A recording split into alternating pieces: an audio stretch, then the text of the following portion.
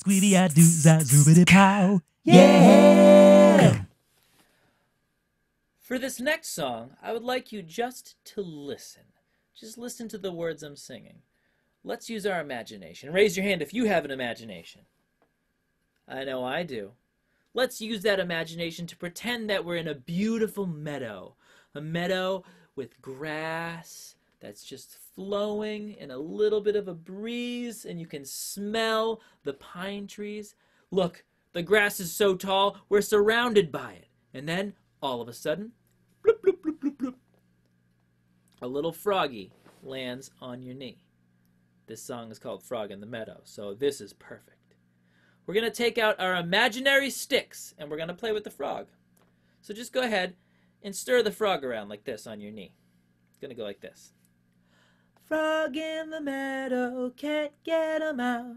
Take a little stick and stir him about. Uh oh, he started hopping.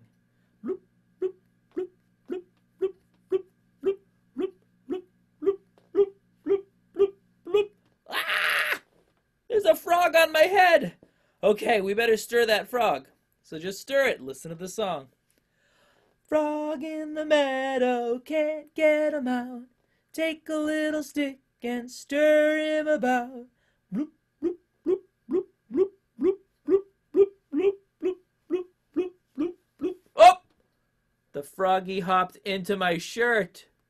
We better sing the song and go down the shirt, but be careful. Frog in the meadow, can't get him out. Ah, take a little stick and stir him about. Whoa! He just fell out. Okay. Where did he go? Bloop, bloop, bloop, bloop, bloop. Oh! He landed on my feet, on my pineapple socks. We better stir him. You know what? My feet are really ticklish. We might giggle a little bit. Let's try. Frog in the meadow, can't get him out. Take a little stick and stir him about. Oh, that is so crazy. Uh oh, he's on the go again. Where is he going? Where is he going? Oh, oh, he's in my ear. Ah! Frog in the meadow, can't get him out. Take a little stick and stir him about. Oh. Can you guys think of any other places the froggy could hop? Somewhere on your body? I want you to let that froggy hop to that part of your body and think about the song, and we'll stir it, okay? Good job, guys. I'll see you next week. We'll work on this some more.